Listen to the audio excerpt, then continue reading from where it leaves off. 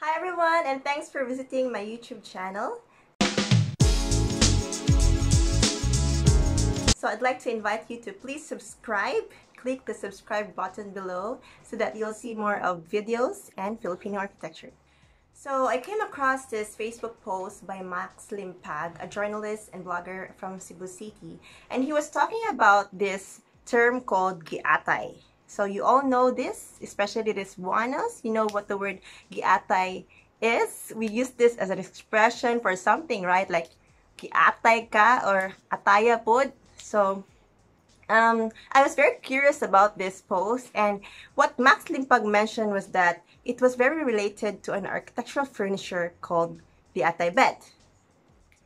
So this video is going to talk to you about the architectural furniture, the Atay bed. So the Atay bed is actually a bed uh, made by renowned Chinese furniture, Atay. So the Atay bed is very, very popular during the 1860s up to the 1920s and in the colonial period and actually it was made as a matrimonial bed. So which means that it is a matrimonial bed, it has these details that would depict or signify as a matrimonial bed. So what are these? The first one is this detail in the leg section, which is a squash detail, as you can see here, squash detail.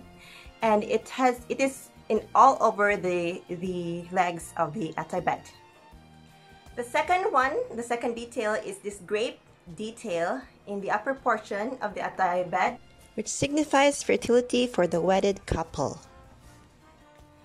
The third detail is in the headboard of the atay bed. So you can see a lot of fern detail in the headboard of the atay bed when you sleep in it. And then lastly is this bed has a solihiya.